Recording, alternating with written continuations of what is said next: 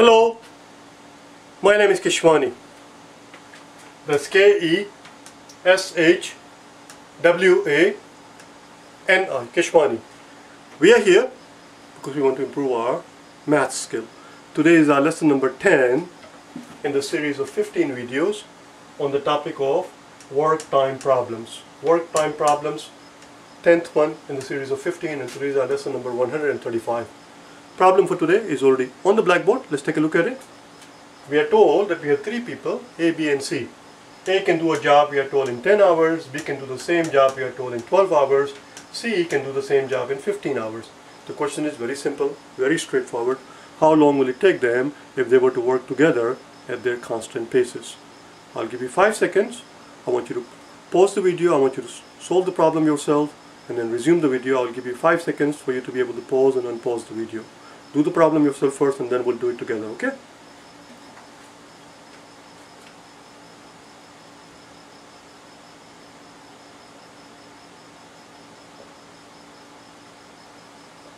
Alright.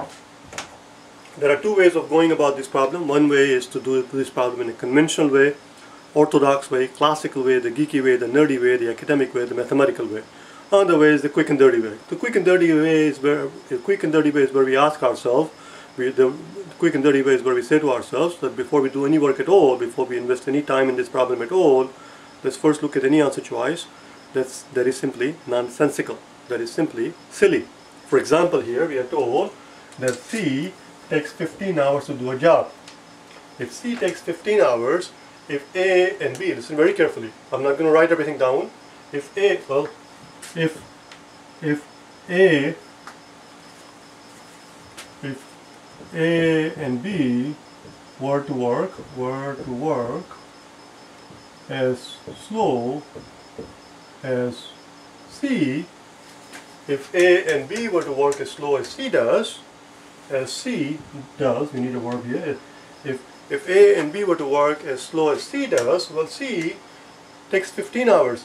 If B also takes 15 hours and A also takes 15 hours, then in, in 5 hours, listen carefully, in 5 hours C can do one third of a job, B would be able to do one third of a job in 5 hours, and A can do one third of a job in 5 hours, which means working together, all of them, the very most that they can take is something less than 5 hours. Why something less than 5 hours? Because 5 hours is how long it would have taken them had everybody been working as slow as guy C.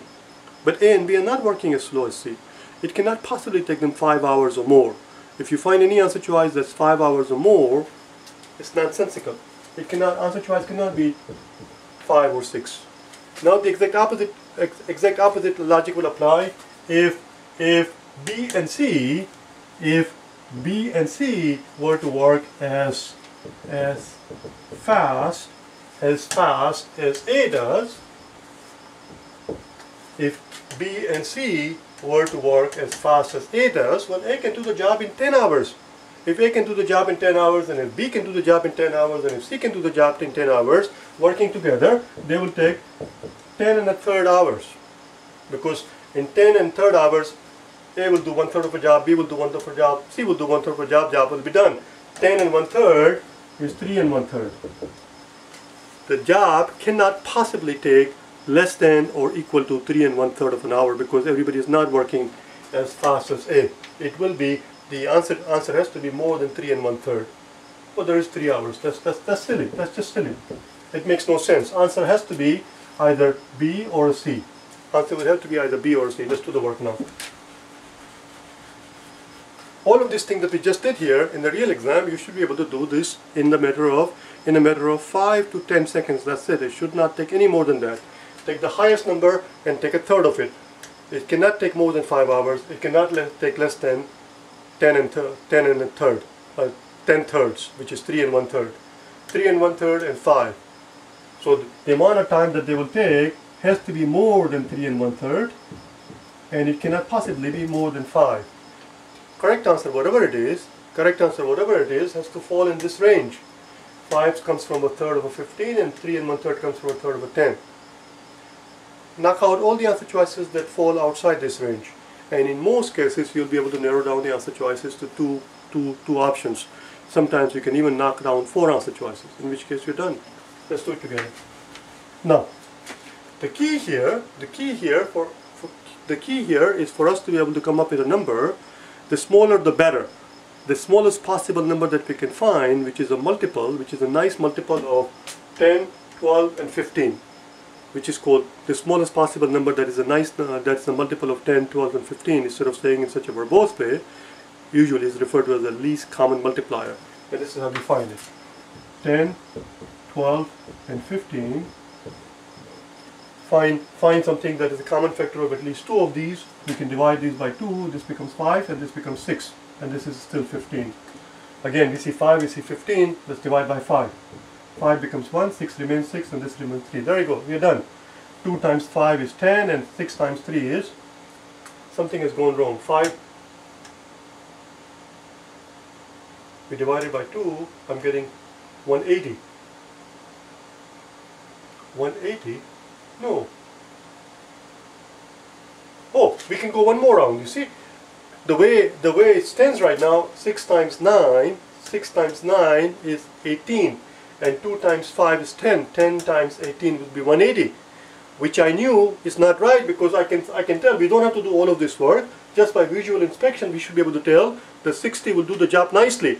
60 is 10 times 6, 5 times 6, or sorry, rather 5 times 12, and 4 times 15. 4 times 15, 5 times 12, 6 times 10. 10 60 is a nice multiple of all of these numbers. And I knew that all along, before, even before I began the job, even before I began this work here, so when I came up with 180, it didn't seem right. And the reason why it's 180 is because we can go one more round. We can. This is 6 and this is 3. They have a common factor of 3. We can go one more round. 6 is going to become 2 and this becomes 1. There you go. So now we have 6 times 2 which is 3, 3 times 2, 3 times 2 which is 6 and 2 times 5 which is 10 and 10 times 6 is 60. I'm making too much fuss about it. The least common multiplier is 60. The least common multiplier is 60. That is our magic number. We're going to now ask ourselves how much, uh, how much work each one of these person can do if they are given 60 hours. Given 60 hours, A can do a can do, but because it takes 10 hours for him to do a job, A can do, A should be able to do 6 jobs in 60 hours. B should be able to do, because it takes him 12, 12 hours to do the job, give them 60 hours and he can do 5 jobs.